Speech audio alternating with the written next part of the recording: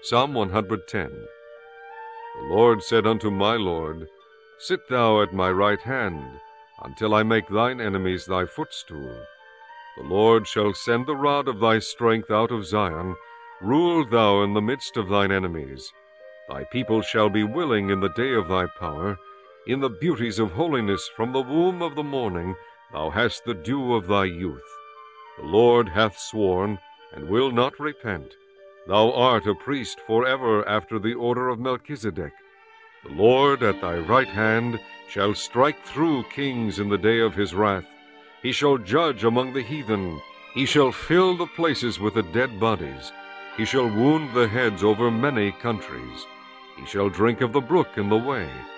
Therefore shall he lift up the head.